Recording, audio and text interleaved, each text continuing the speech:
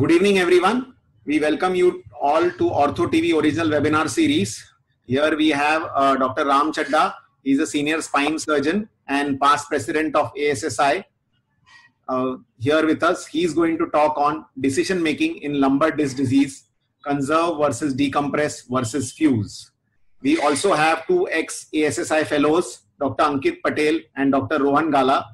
And we also have Dr. Salim Patel, who's the medical director of Zydus.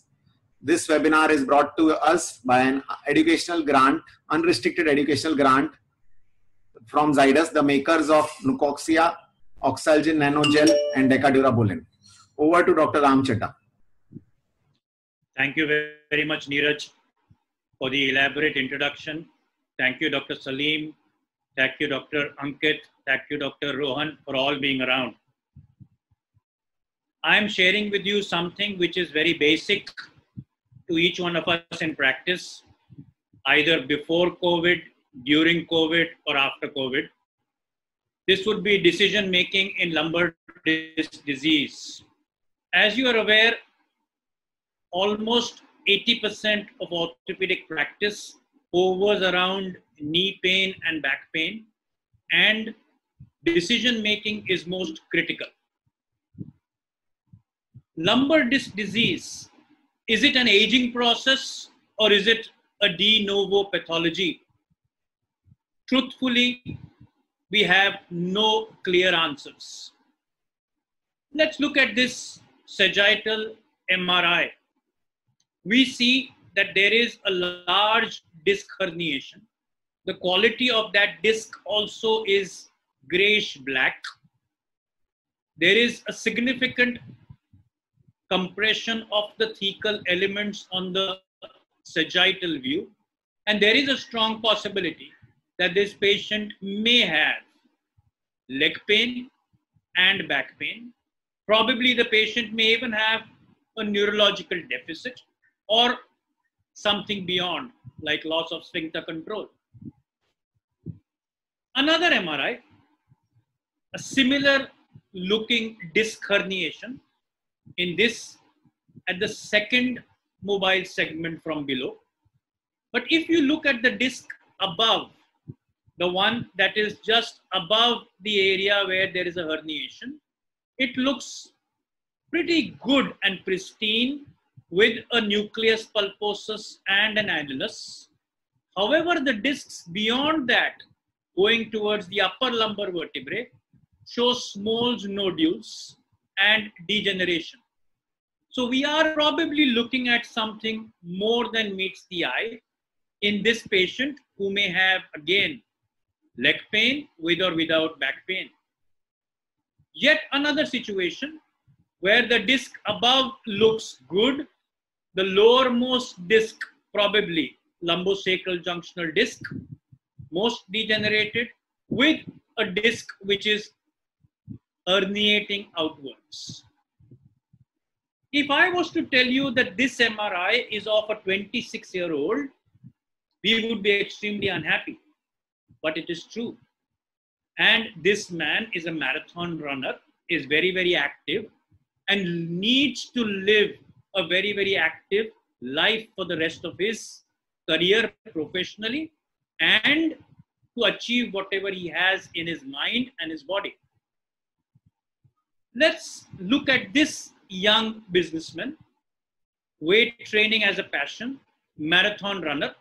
A lot of you would probably relate to this gentleman. He has back pain, bearable off and on for the last three years, worsening of late, has developed leg pain more so in the left lower limb, but occasionally in the right lower limb for the past one year, worsening of late, he claims he has given up smoking six years back. So I wonder when he started. He is having claudication beyond a certain distance, has paresthesia left more than right lower limbs, but has now noticed a neurological weakness, both motor and sensory, in the left L5 S1 nerve root component areas. He's also suggesting that he has some sphincter urgency which he has noticed of late. This recent onset neurology has brought this person rushing to me for treatment and he has been treated non-surgically by me for the last six months prior to this visit. But the recent neurology has created a crisis in his life.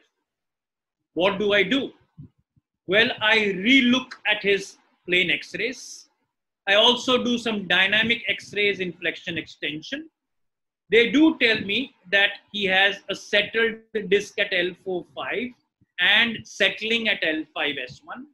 There is some end plate changes at L4, L5 with maybe some amount of calcification of the annulus which may be appearing at the L4, L5 level, also probably at the L3, L4 level. What next? This is what his T2 and T1 weighted sagittal MRIs show us. And these are his actual MRIs. Single cuts at L3, 4, L4, 5, and L5S1, suggesting a more left sided affection and suggesting that there is an element of neural compression at all the three levels, though differently at different levels. In one level, it is mainly posterolateral. In another, it may be posterolateral with foraminal. And in a third, it may be posterocentral with posterolateral being a little bit less affected, but an extraforaminal component on the same side, which is left. So we have a combination of images from L34, L45, and L5S1. This is a whole spine screening which is also critical for us to rule out that there is no neural compression elsewhere. What do we do next? This is a patient who needs treatment, who's asking for a solution. Do we do a CT scan to further look at what is happening at the L45 and L34 levels as far as those suspicious end plate changes and those disc osteophytes? do we do an electrophysiological study to find out which of these levels is actually affected more on the left side? Do we do a discogram to find out where the back pain is coming from and which of these discs is the culprit?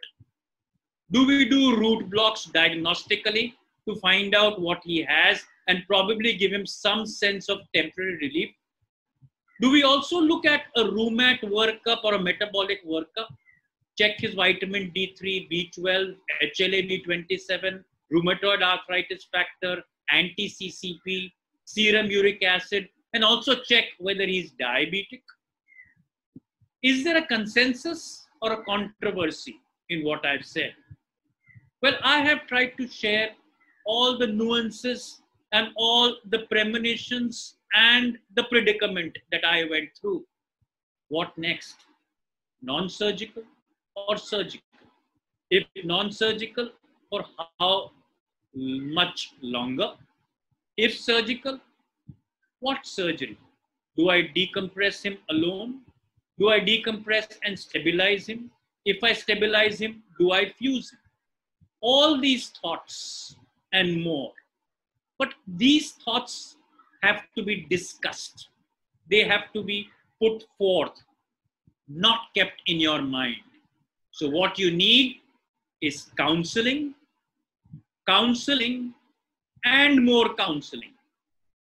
Discussing exactly what this 26 year old businessman who is looking forward to be a marathoner and maybe an Ironman someday really wants. What next do we do? What is the purpose of our treatment? Why are we giving him treatment? Are we going to really make him achieve what he wants? What will be the process that we would go through? And finally, if we've decided that we are decompressing him and stabilizing him, what are the products that we are going to use? Unfortunately, we get branded as minimally invasive surgeons, open surgeons, robotic surgeons, and the product tends to overpower our decision it should be the other way around. We should know why we are doing, Then we should know how we are doing it and finally decide what needs to be done. Is the decompression going to be just the fenestration? Is it going to be a laminotomy? Or is it going to be an interlaminar discectomy? Or in his case, are we going to do a conventional multi-level laminectomy?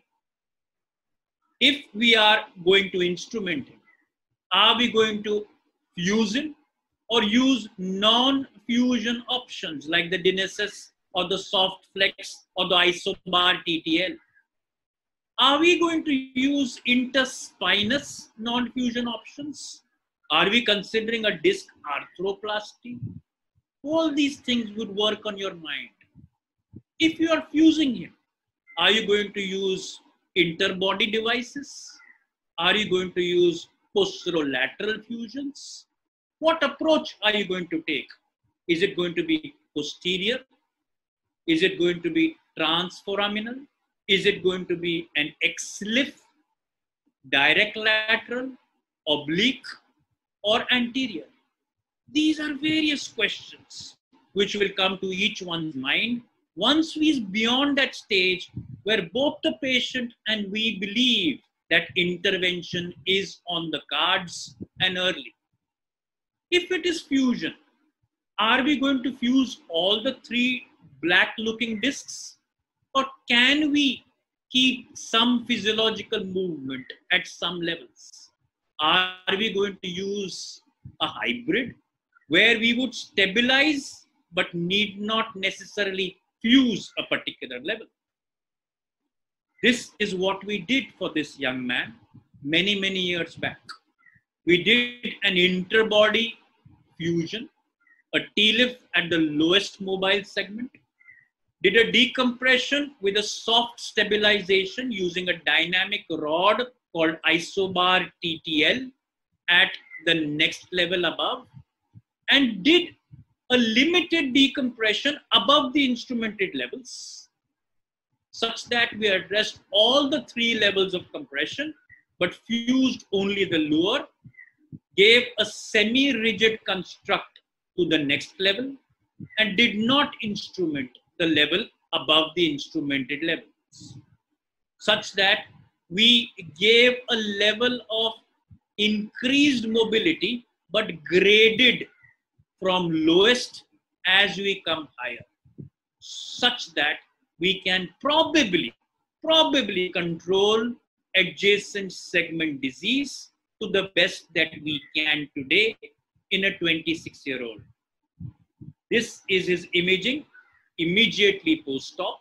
You can see the staples. And this is his imaging seven years down the line when his quality of life was almost 90% of what he expected and wanted and was doing before he precipitated a situation which ended up in a surgery.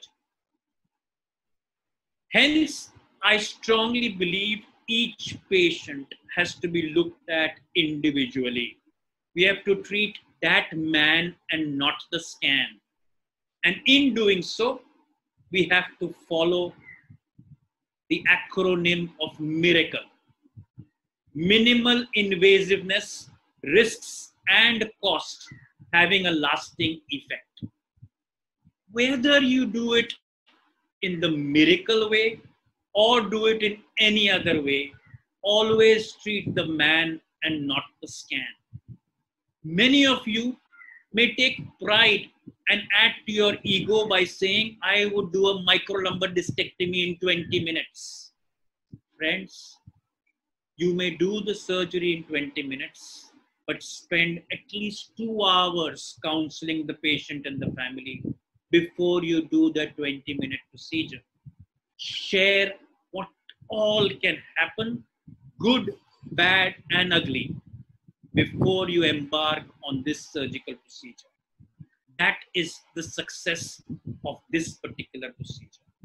Always before the procedure and never after the procedure. Why do I say that? Why should we spend so much time? That's because 80% of the population has low back pain at least once in a lifetime. It's the commonest cause of disability in individuals less than 45 years of age. And believe me, we'll see a huge plethora of this problem once we get out of this lockdown as well. What are the common causes? Lumbar disc herniation, lumbar canal stenosis as we grow older, and sometimes more than lumbar canal stenosis or lumbar stenosis plus. Let's begin with the basic lumbar disc herniation. What is a slip disc? Well, we've got various ways of looking at it. We call them contained discs and non-contained discs. We call them bulges, protrusions, prolapses. Then we call them extrusions and sequestrations.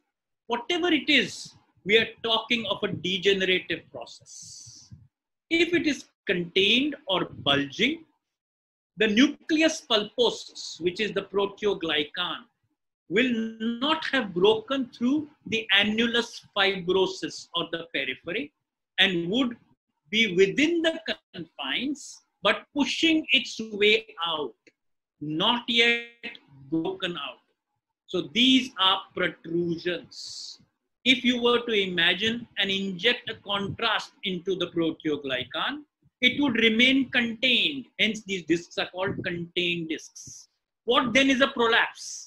A prolapse is a non-contained disc, where if you were to inject a contrast, it would pour out, go beyond the annulus fibrosus and enter into the canal. These are non-contained and these may be covered prolapses these may be transligamentous extrusions, or they may be free fragments which can sequestrate up or down. Are these all a part of a bigger pathology called degenerative disc disease? Probably yes. It's a state of altered morphology and hence compromised mechanical efficacy of the disc, in which the disc is unable to transmit loads across the vertebral axis. This is believed to be multiple complex interactions, biological and biomechanical in nature, and there's not necessarily a single inciting cause. As you can see on images of young patients to your right. It is actually a cascade which may happen in a precipitated form in the young or will happen in due course with most of us. It is as you look from left to right, the disc getting degenerated, the proteoglycan fluidity of the shock absorber diminishing, and its ability to work as a resilient, mobile shock absorber diminishing as we age from left to right. What happens to the morphology?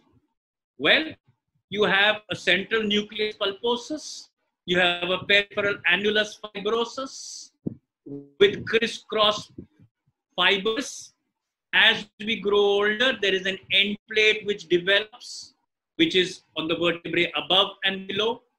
As a child, there is a little bit of blood supply coming in. As we grow older, small nuclear clefts develop in the nucleus as we go and become younger from adolescent, these clefts become tears getting into the annulus. And as we go still older, the disc space narrows, osteophytes start developing, clefts become extensive, the nucleus pulposus gets disorganized, and we go from a dysfunctional phase to an unstable phase which is a very painful stage. And if we can bear through that, we auto stabilize. So we go through dysfunction, which is in the early youth, through an unstable phase, which is middle age. And if we can manage, we auto stabilize. This is universal. How does a herniation then cause leg pain? What really causes it? As mentioned, it's a tear in the annulus and a migration of the nucleus, both mechanically and chemically irritating the nerve. So, what does it really do? It causes a nerve pressure, as you see in the diagram, and it causes radiating pain with or without neurology down that nerve root. Let's look at a case 45 year old gentleman has had chronic low back pain, but last four days, severe right more than left pain, mainly in the left L5 nerve root component. What would we do? He has a mild extensor hallucis longus weakness and some altered sensation in the first web space, but is able to walk around. What would we do? Well, many of us would jump on and want to get that two and a half centimeter large disk fragment out. But I am now submitting a case which is a little bit different. Do we conserve or operate these patients? A lot of these patients whom we are unable to see because of the lockdown today are going through something which will convince us of what evidence and literature has told us, but expertise and experience probably makes us think otherwise. This patient I submit as to why we should not operate this patient. Many of us would have, but I now run you through a situation where he is only in telephonic contact with you, as he may be today in a teleconsult, or if you are one of those who endorses and believes what literature has told us. Natural history of a herniated disc fragment. Numerous radiological studies which say that this herniation will subside. This too shall pass. As we are hopeful, so is that disc. 1985 was the first time when such large herniations were reported on a CT scan to regress.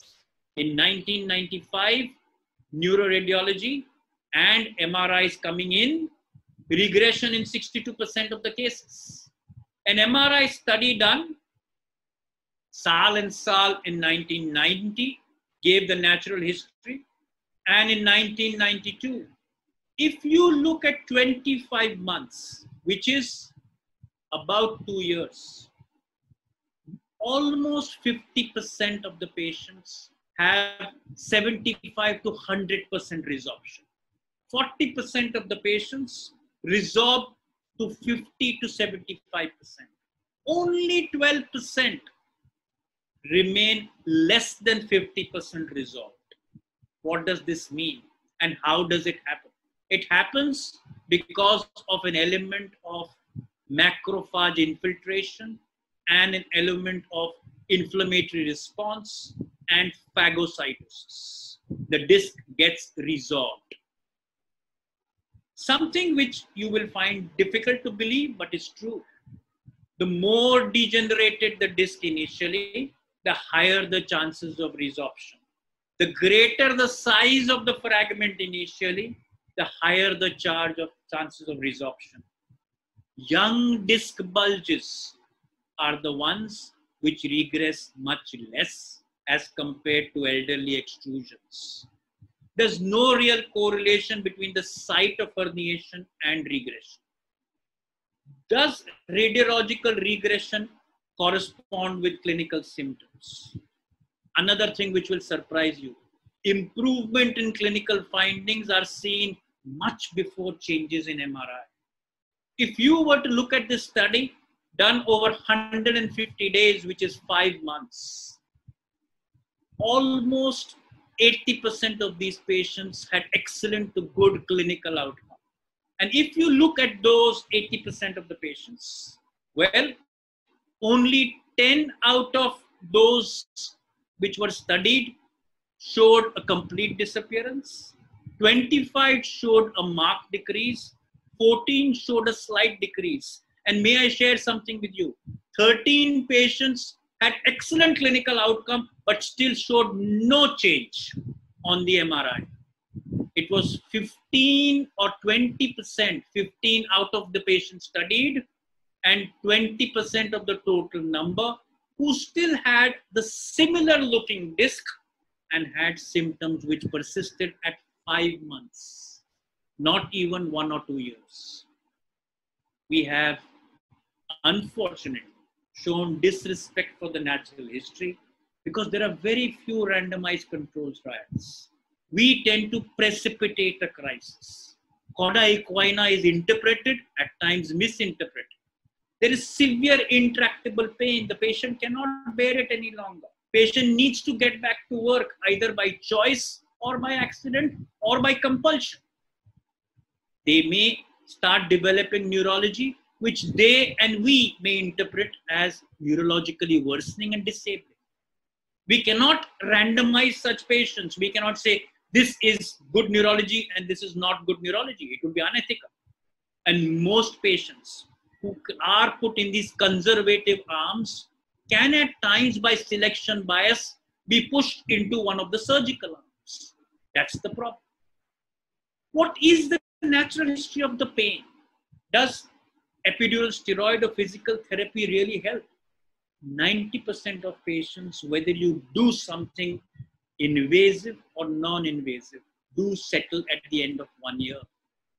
Conservative group, you can give them just rest bracing and paracetamol, and they may do as well as patients in whom you gave physical therapy and gave them some epidural injection. Look at this study. This was done in 1983. 60% significantly improve in the first year without surgery, 90% in the surgical group. Look at the bias. There is a bias there. Same patients at four years, the difference between the surgical and non surgical arm diminishes. And at 10 years, there is no difference between this same set of people. Hence, yes, surgery can give us quick relief where indicated and where specifically needed in that one particular patient. What is the natural history? Do non-steroidal anti-inflammatory drugs really improve the outcome? A study done in 1993, 208 patients, piroxicam versus placebo trial, no difference between NSAIDs and placebo group. Do epidural injections increase disc regression? Comparative analysis between saline, steroid, and chymopapain, no difference in regression. Do epidurals influence natural history of radicular pain? Yes, you do get short-term relief, but no long-term relief and no significant difference. Outcomes of surgical versus non-surgical, as I said, at one month, there is a significant difference. At one year, also there is a significant difference. At four years, they are coming closer. And at 10 years, there's hardly any difference between conservative and surgical. What then is the natural history of neurological deficit in herniation? Overall prognosis is good in such patients who have mild neurology. Those who start showing recovery in the first three to six weeks do have an excellent recovery in the long run. Sensory fibers are most susceptible to compression and they recover last. Resolution is not affected by surgery. So if you are selling surgery with the idea of neurological improvement, we are probably doing something incorrect and non-evidence based. What are positive outcome factors?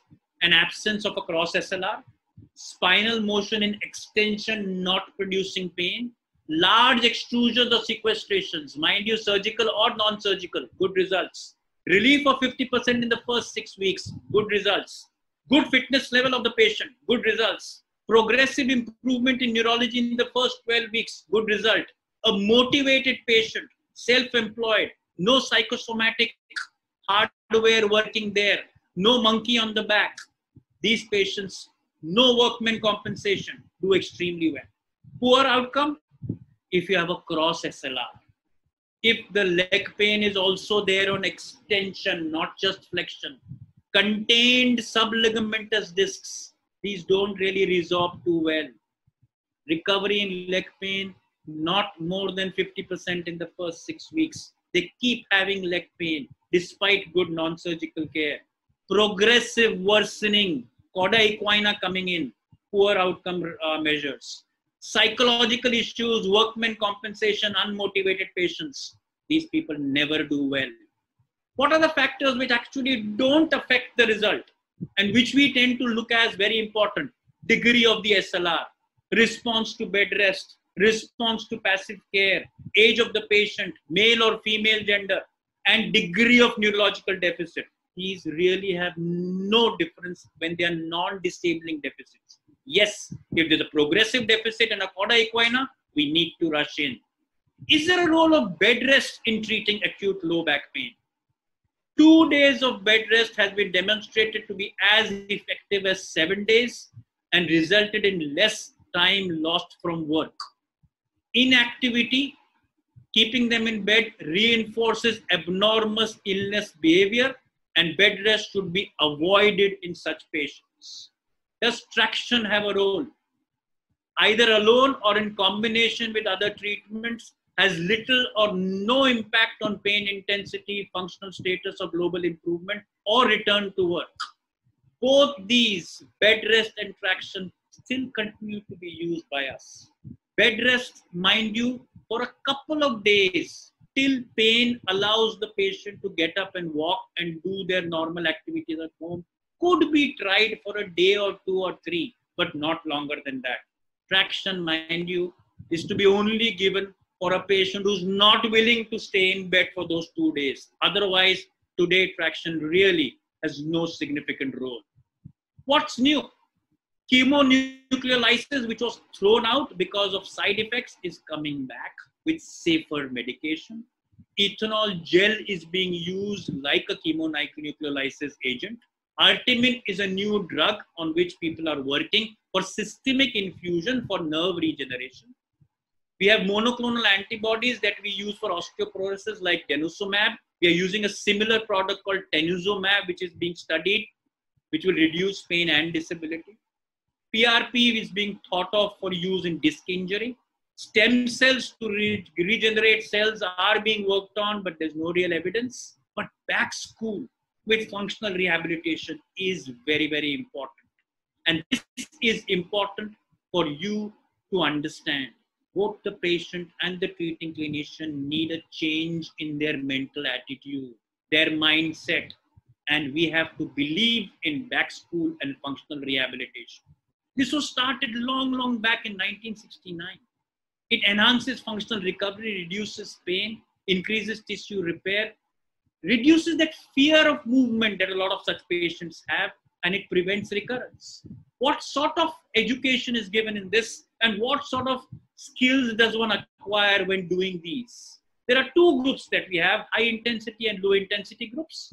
They prevent primary, where patients have not really had back pain, so they teach them ways of overcoming such a thing which may happen if they are professionally more liable to get it like secretaries, dental surgeons, people who bend forward and lift weights, surgeons who work in a particular posture for long durations. And a second group where the system has to be re educated either after an operation or after a non surgically successfully treated back pain. So there are people who are primary, where they are working more in preventive measures, and those who are secondary, where they're working as therapeutic and preventive for a second insult. These patients need to understand that if there is an anatomic issue, they will respond much better to back school rather than a non anatomic issue where a psychosomatic behavioral change is what needs to be done. We teach these people how to lift, how to get that fear out of them of movement, all sorts of exercises, including breathing, stretching, both anterior, posterior, abdominals, cores, everything is worked on. And you have to gradually grade and move up the ladder in your level of activities of daily living. Please understand, just like this COVID crisis will also pass, most disc herniations resolve spontaneously large fragments resolve better than smaller protrusions. Majority of patients will improve within the first one to three months. only operate if there's a cauda equina, profound deficit, or unrelenting, unbearable leg pain or severe back pain. Those few patients who really do need surgery, what do they need? Well, they need to be looked at whether they are young, middle aged, or elderly. Are they getting repeated leg pain? Are they getting leg pain with back pain? Or is it back pain with claudication in the very, very elderly? What do we do? We do X-rays, we do MRIs for the spine 3 Tesla or a 1.5 Tesla. In certain situations, we may need CT scans, electrophysiology, discography, psychosocial evaluation, all these in that counseling phase. We may have to alter their behavior. We may have to subject them to spinal manipulation, physical therapy. All these are ways and means of treating such patients. Symptomatic discs can be treated in various ways by various people. Different people do different things. We are all aiming to make our patients better. Some of them may need disc surgery, more so those who have cauda equina or progressive neurology. There is a small component of patients who do extremely well with these minimally invasive procedures called laser, APLD, chemonucleolysis, or ozone. However, these are people who are not really willing to wait and let nature take its course. APLD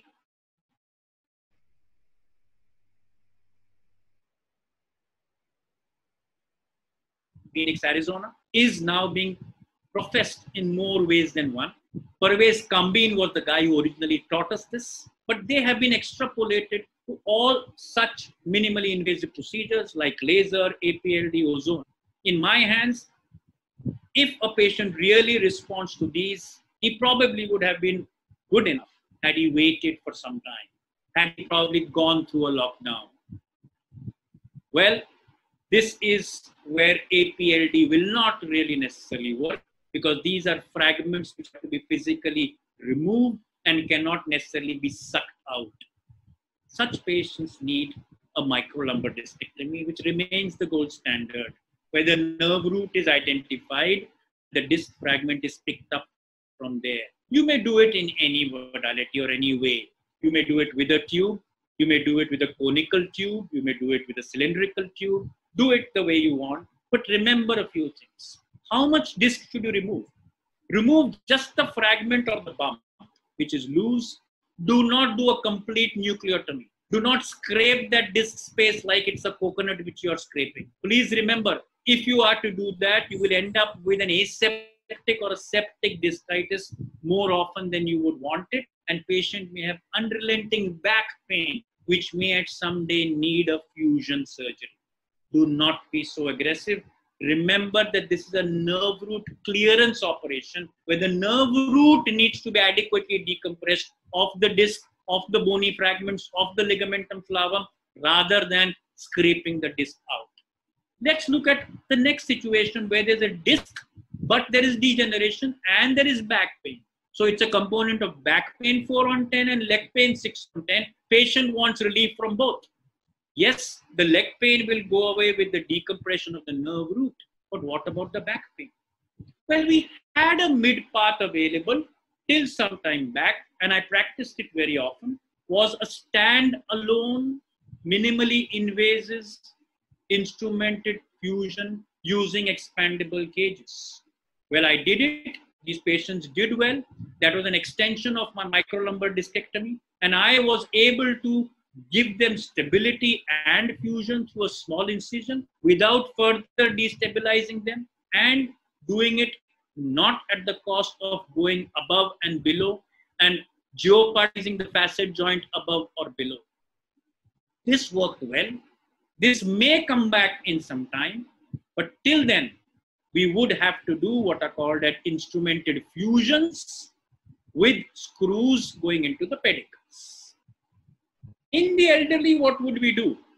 Where the back pain is significant and the leg pain is also there, a little bit of claudication coming in, but the patient is a sedentary elderly person. Here we've done conventional interbody fusions using mesh cages. This is 20, 25 years back with four screws and two rods showing an excellent interbody fusion with graft in front and within the cage, showing us a sentinel sign which is positive of an interbody fusion seen outside the cage, not just within the cage. We've used mesh cages, used to cut them to size and put in these screws. We used to do a good decompression in the elderly and put in these screws and rods. Today, we get a little bit confused. We have these various words which are floating around. There is PLF, posterolateral fusion, PLIF, TLIF, OL, OLIF, everything. What is this and when do you fusion when? Well, it all depends on where you're going in from. Posteriorly, transforaminally, laterally, obliquely, or anteriorly. You have to start with why you are doing the procedure. Are you stabilizing an unstable motion segment? Are you wanting to also correct a deformity? Do you want to do an indirect or a direct decompression? If you're doing posterolateral fusion, which is conventional, what do we do? Well, we go in and put these grafts on the lateral gutters without removing the discs and do it for mainly degenerative disorders and for low grade degenerative listhesis. It does not work in gross mobile lytic listhesis situations or tall discs where we've gone and scraped out that disc space. Here we need to do a PLIF or a TLIF. What is PLIF? Posterolumbar interbody fusion, where we retract the theca and put in either a bone graft or a spacer. Where do we do it today? Well, we do it in high grade situations of mobile listhesis we also do it in certain degenerative scoliosis, and we surely do it in postoperative discitis, where we want to clear that complete disc space out and fill it with both biology and mechanics. So we may use tricortical bone grafts and additional bone graft as I've done in this case of a septic discitis. What then do we do when we have to go only from one side? We do what is the gold standard today, which is placing a graft from the transforaminal approach, either titanium or PEEK, sacrifice the inferior facet of the upper vertebra and do a partial decapitation of the superior facet of the lower vertebra without significant thecal or neural retraction. This is called a TLIF and is a gold standard in most fusion procedures today. It is very good in revision cases as well, especially those with unilateral symptoms because you don't need to retract or go into an area which has a laminectomy membrane or an element of scarring. Where then do you use an OLIF? An OLIF is where you're doing an anterolateral approach, going in front of the psoas and doing multi-level large spacers. Spacers which can jack up correct degenerative scoliosis and combine it with a minimally invasive posterior surgery such that you can get good interbody struts, either autogenous or allografts or spacers or all together. It's a good option in revision. It also works very, very well in prevention or treating of adjacent segment disease. Moving on to the final part, which is lumbar canal stenosis. Happens to the elderly. And do we intervene? And if so, when? Why does this happen?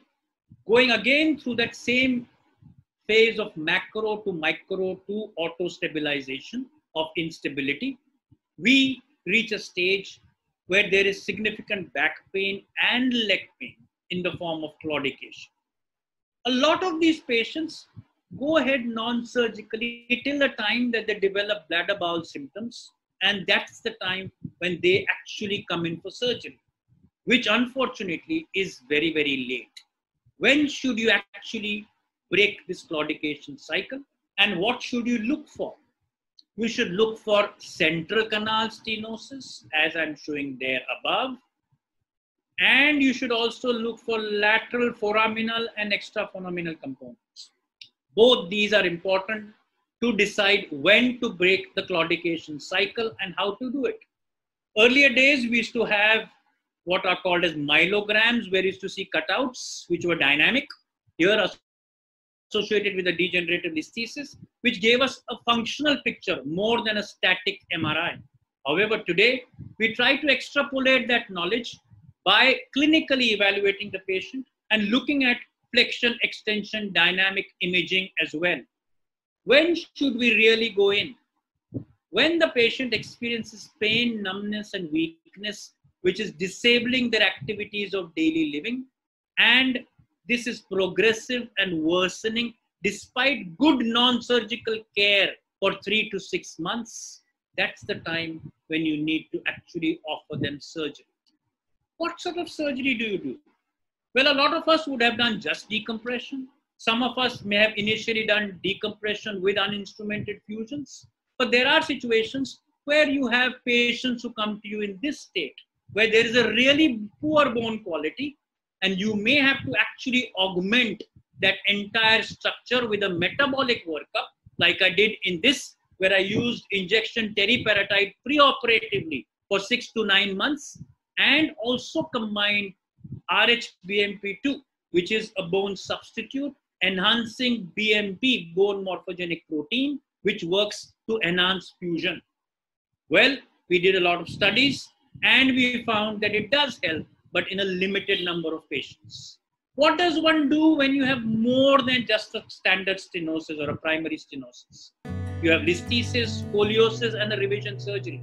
Well, look at these patients introspect.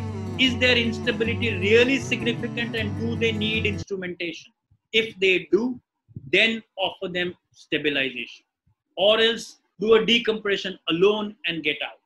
Well, I did a decompression alone and got out, but this patient came to me again at three years with an instability and she had to be reoperated.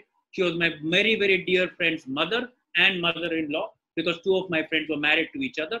And this is what I learned from that patient.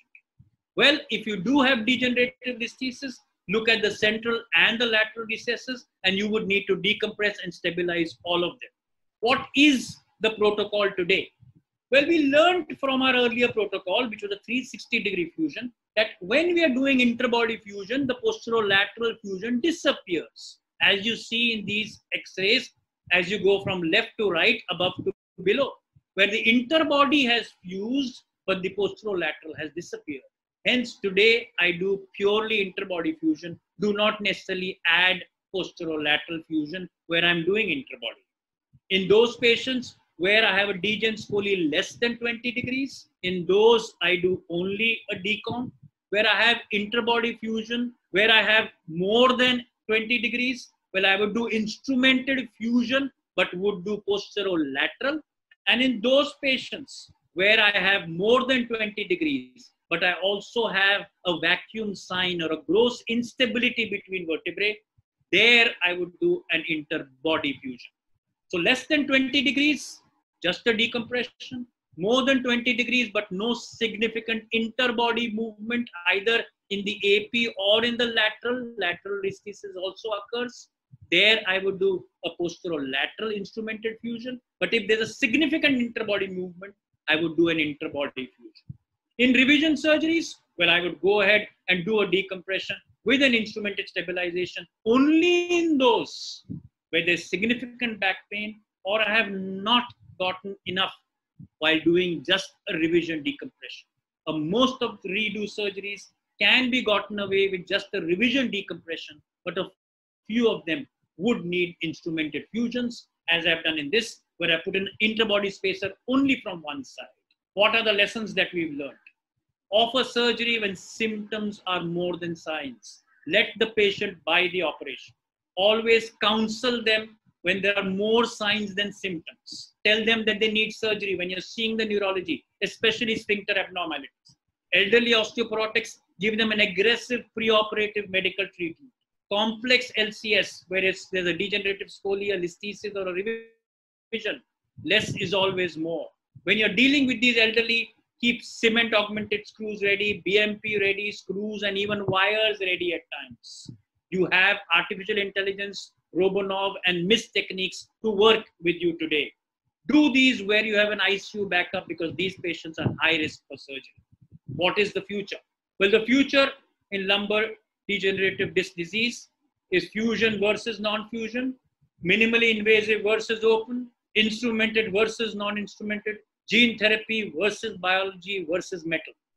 Well, we have to choose a cost-effective, safe option for our patients in our country. Ladies and gentlemen, my final message, tread cautiously into spine surgery for things are changing as we talk. What is state of the art today will be history tomorrow and obsolete the day after. This COVID crisis has taught us this. Do what works best in your hands rather than be market driven or techno savvy. Please begin or start with why. Know the purpose of your surgery, then plan the process of how it is to be done, and finally decide what product you are using. Don't get carried away by products like probably this surgeon did, where he did some minimally invasive screws. For what? I don't know the purpose. I don't know the process. I can only see the product, but the product did not last for too long. I share what I share with a lot of my colleagues the Dunning Kruger effect and what Bertrand Russell said. Well, the Dunning Kruger effect is the more you know, the less confident you are likely to be because experts know just how much they don't know. They tend to underestimate their ability, but it's easy to be overconfident when you have only a simple idea of how things are. Try not to mistake the cautiousness of experts as a lack of understanding, nor to give much credence to lay people who appear confident but have only superficial knowledge. Bertrand Russell said, the whole problem with the world is that fools and fanatics are so certain of themselves, yet wiser people so full of doubts. I'm sure I've shared some information which will turn into knowledge, and with experience, it will become wisdom. Behind every successful person are a lot of unsuccessful years I've had 30 of them. And what I've learned, I share with you. Good results come from experience, but experience only comes from bad results. Thank you very, very much for a patient hearing. Thank you, Neeraj. Thank you, Salim. Thank you, Rohan. Thank you, Ankit. Now, I'm open to any questions or discussions that you may have. Thank you very much, sir. This was a very comprehensive uh, uh, coverage of the whole topic. Uh, so we will start with Ankit. So Ankit, do you have any questions for sir?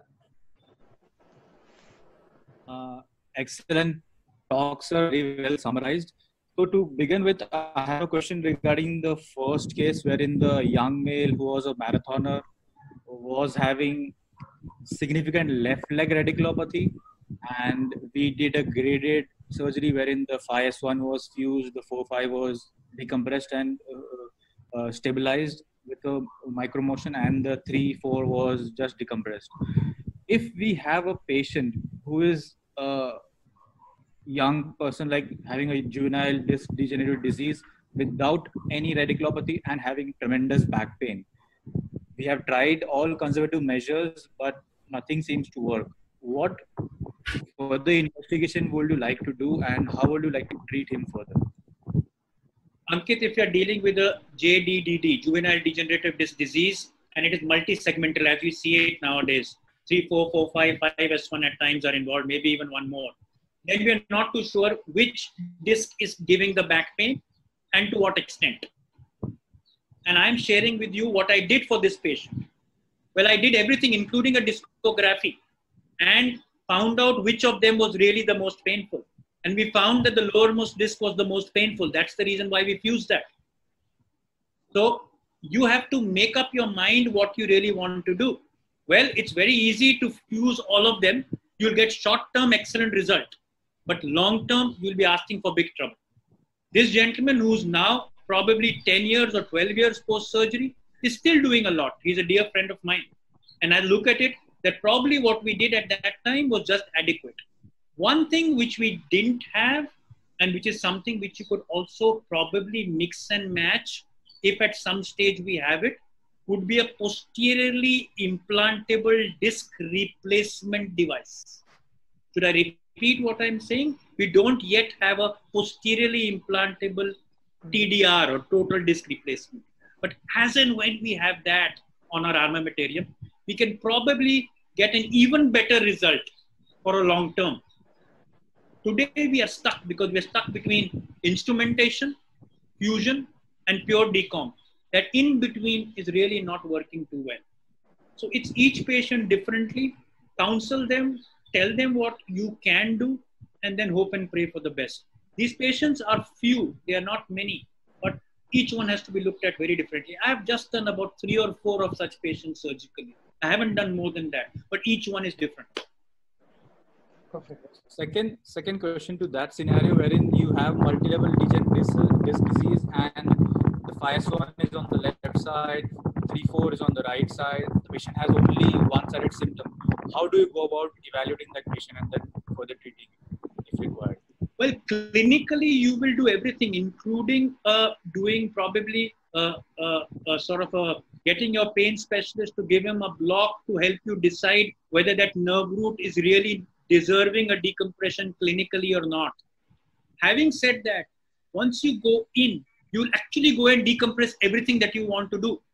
You may do it minimally invasive. You may not necessarily sacrifice the, the, the joint on that side. You may do it, but you would want to see all that is clinically and radiologically affected because it's one single step forward. So that's the way I look at it. Even if I'm jacking up a disc from one side, and if it's an open surgery, I go and see the nerve root on the other side. So that's the way I work when I'm doing open. How does uh, a nerve conduction study fare in this situation? Does it really well, help? Truthfully, an EMG nerve conduction study does not give you much help. But here, where you're looking at a multi-level pathology and you're looking at uh, acute versus chronic neurological changes, well, you have some evidence that, okay, in this patient, my L4, L5 is a chronic problem. So you and the patient both know that the neurological recovery may not be as much. So it's sort of quantified, justified, and evidence based preoperatively. Are you getting where I'm coming from? Yes. So there is an evidence. Please understand uh, an EMG nerve conduction is a little bit of a painful but non invasive procedure, and it is there because please understand if you have something which is pre op available with you, that's always something which can never be done post op. So keep it ready, especially in these difficult situations. Don't use it as a routine. But in these one off cases, like the one that I showed you, well, it's worth having all this documentation done. Does it help us take a decision? Not truthfully as much, except if there's a gross disparity. Let's say that this patient also had an L12 disc above. Are you understanding? There I would do an EMG nerve conduction just to find out whether I need to address that or just ignore that completely. And this will happen to you where you're operating something at 455 S1 and you find one L12 or an L23 disc above and you are in a jeopardy whether we need to touch that or not. Well, do an EMG nerve conduction there, at least for you to be sure that at this time there's no neurology related to that. You may have to go in five years, 10 years later. That's fine. Okay. Uh, Dr. Rohan, you have any queries for sir? Can you just unmute yourself first? Yeah. Sir, uh, so this is regarding all those young patients who come with a large fragment which mandates surgery, sir which is an isolated disc degeneration, sir. What's your take on just doing a fragmentectomy versus going for primary fusions in these young patients who have a high functional demand? I do a fragmentectomy where I am operating. I'm not going back to my lecture where I'm conserving many of them, but yes, where I'm operating, I do a fragmentectomy. Please understand, my surgery is nerve root clearance and nerve root decompression with incidental fragmentectomy. It's not fragmentectomy with incidental nerve root decompression. My aim of this surgery is to give that complete nerve root a full clear picture all the way through, the way you may want to do it. How you do it, process, product, tube, no tube, your choice. That nerve root has to be completely decompressed. That's my idea. Fragment is what I'll remove. I'll not go in and scrape that thing from the inside. Whatever is loose, I will take out. So to take the scenario further, what Dr. Rohan has put up, if the patient has back pain and a patient confusion, we have given him an adequate conservative trial which has not given good results, and we plan to do a decompression and a fibrinolytic. But on the recent MRI, we see that he has modic changes and the endplate is also a bit irregular. How will you go further in that case? I love this question, and it is something which happens to us every day. Please understand, here is where that slide which said counseling, counseling, and counseling comes in. Sit down with that patient. Tell him there is a possibility that sometime in life you will need decompression with instrumented stabilization and fusion, unless by that time we get a safely implantable posterior disc replacement prosthesis. Clear? This is the first thing you will tell him. Next, tell him today you have the option of doing two parts of the available procedure together or doing them separately. If I do just the micro decompression today, your leg pain will reduce over a period of time, hopefully. The back pain, which you probably had earlier, will go back to that so called bearable stage. Are you willing to live with that bearable pain for the rest of your life or till the time that we get a safe disc replacement device? Or you want everything sorted out right now? A minority, and I'm repeating what I've done because based on what I've been doing, only a minority will choose instrumented fusion on day one. A majority will go with, sir, aap chota operation kar dijiye, do the minimally invasive, which is a part of the bigger operation, and I'll opt for the bigger operation maybe in six weeks, six months, six years, or 60 years. Are you getting where I'm coming from? That's how it will work majority of them would go with that decision because you and i both know that an instrumented fusion is an add-on to the micro decompression that we are doing micro decompression is going to be a part of the instrumented fusion any which way. So that's the way I counsel my patients. Modic So, uh, changes. another question which is They're radiological. uh, one more question. It's Yes, sir. A practice oriented question. For example, if we have a young uh, patient with an acute onset leg pain with a radiculopathy, uh, and uh, we start him or her on a conservative treatment protocol after doing an investigation in the form of an MRI and documenting a disc prolapse at L4-5 level and a good correlation between the signs and the symptoms. How often do you ask him to follow up and if at all we leave him or her to follow up on based upon their symptoms like for example the first follow up is done at the end of 10 days after that we expect the patient to be in pain and gradually decreasing symptoms for the next few weeks so we, do we leave the patient to follow up on their own or we have to give them a, a timeline Well, it's like this. There are two types of patients. One who will gradually improve in a timeline and who will respect your scheduled follow-up. And there are others who will worsen or may be unhappy with the progress and will want to come back earlier. The second part we cannot address because that's the patient's choice to come back to you earlier. If they are going along the normal course, then yes, you see them, ask them their progress at 10 days if at 10 days they feel they're going in the right direction, they need not come back at 10 days, they come back at three weeks. If, however, at 10 days they want to see you once, yes, they are most welcome. Then they come back three weeks hence. As I look at it, I tell most of my patients, and that's going by that literature, which is the minimum time that they look at is five weeks, is that six weeks is the critical time that we will sort of start flattening the curve.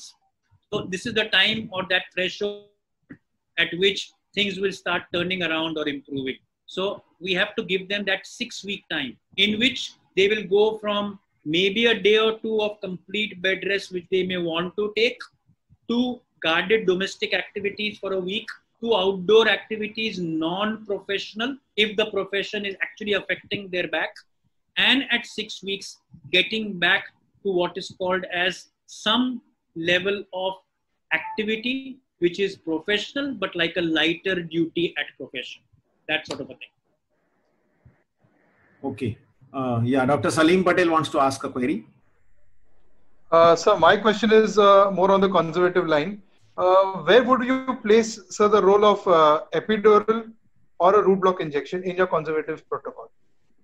It's a very very important uh, armamentarium that a spine specialist has to have he may practice it himself or he may have a pain specialist whom he has faith to do it.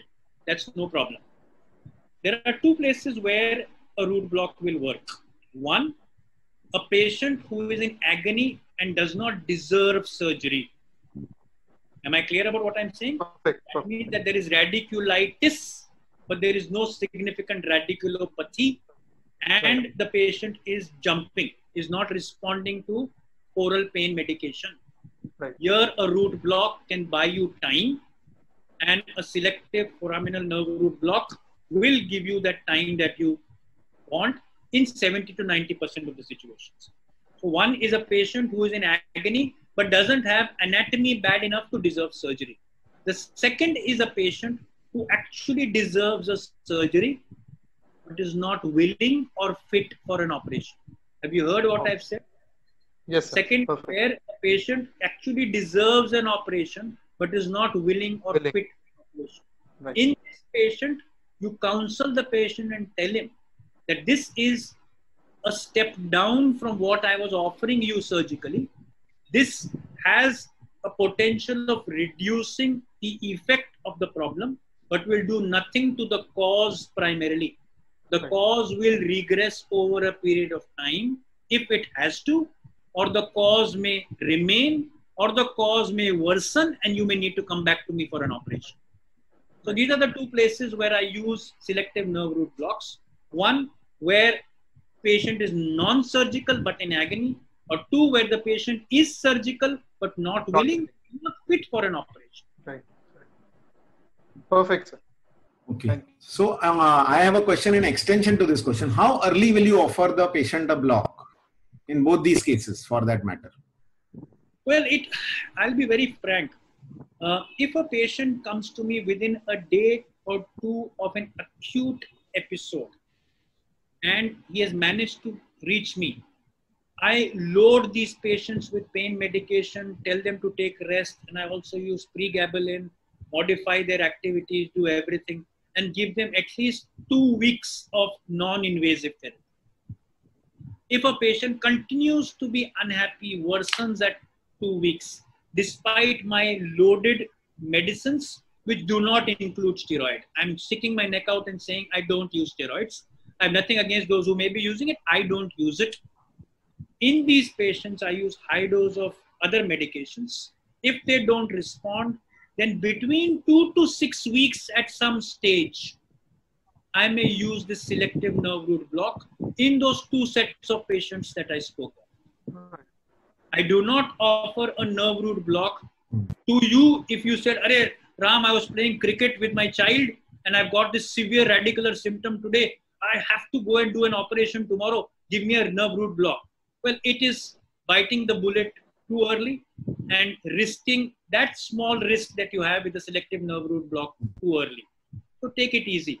A lot of these acute annular tears where the pain is more chemical or related to the chemical irritation, not as much to the mechanical irritation, will subside with anti inflammatory and medication to reduce the neural irritation. Perfect. Okay. Okay, sir. Thank you. Rohan, you have one more query? Yes, sir. Uh, so these adults who come with uh, refractory acute exacerbation of leg pain, like the ones who have a pre-existing stenosis, which has not been, you know, addressed for a couple of years, but they now come with an exacerbation which is not resolving up to six weeks. So if we are to tackle these patients, sir, and if operation is the goal, do we only get away with the decompression, just see the root and come out? Or do we address the hard calcified disc which is actually seen in these adults sir? how do you go about this Lovely question. These are two types of patients. One, whose lumbar canal stenosis clinically and radiologically independent of the acute presentation deserved an operation versus people who had a clinico-radiological lumbar canal stenosis which did not deserve surgical intervention but you are incidentally finding it because now they've got an active acute disc herniation with leg pain which has brought the patient to you who's now willing for an operation. So where you have either a primary or a complex lumbar canal stenosis, which has come only with a disc herniation, even if they have a degenerative scoli, even if they have a degenerative list. But what is presenting is leg pain, leg pain, leg pain, not significant claudication, not significant postural changes, not significant back pain. There, I will do just a disc operation or nerve root operation, which is a pure decompression. If, however, you have either been treating these patients for a period of time where you have actually been counseling them कि आपको कभी ना कभी operation लगेगा because most of them would have seen somebody and they would probably go back to that same person again with that leg pain. In that patient, at that time, you tell them that yes, this time you come to me mainly for leg pain, but as I've been counseling you over the past few years, at some stage you will need an operation for this. I think this is an optimal situation. You are now 60, 65, 70 years old. Let's do just this as well as doing what we were planning to do otherwise. That's the way I would go about it. Thank you, sir. Thank you. Okay. Thank you very much. Uh, so we close this session tonight. I thank Dr. Ram Chaddha to take out his time uh, from his schedule. And as there are a lot of webinars going on nowadays, and I thank uh, uh, and Dr. Salim Patel for giving us the grant for this webinar. I thank you very much and good night to everyone. Thank you.